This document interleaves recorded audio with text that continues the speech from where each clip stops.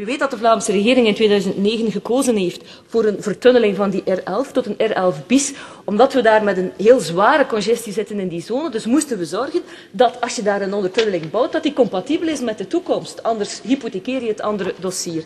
Vandaar dat uh, we nu in een fase zijn waarbij de bouwvergunning aangevraagd is, de adviezen zijn ingewonnen. De stad Antwerpen heeft eind december ook advies gegeven en ik ben nu aan het wachten op uh, de bouwvergunning. Ik blijf het betreuren dat in deze economische toestand u blijft volhouden dat u de eerste spadesteek zult zetten voor er een, een commercieel exploitatieakkoord getekend is. En ik hoop, mevrouw de minister, dat u geen addendum nodig hebt van dit boek, collega's.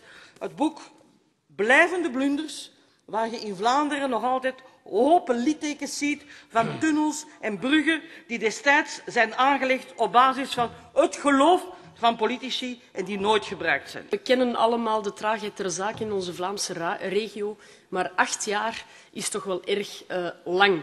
En we hebben één keer uitstel gekregen van het directoraat-generaal. Uh, de vraag is maar, dat uitstel op 8 februari 2013, wat nu? Jullie hebben beiden een punt als jullie zeggen dat die onderhandelingen al een tijdje aanslepen. Dat is juist, maar het gaat hier ook over een exploitatie van de luchthaven voor de komende 25 jaar. Dat is dus niet voor één jaar of voor drie jaar of voor vijf jaar, maar voor 25 jaar.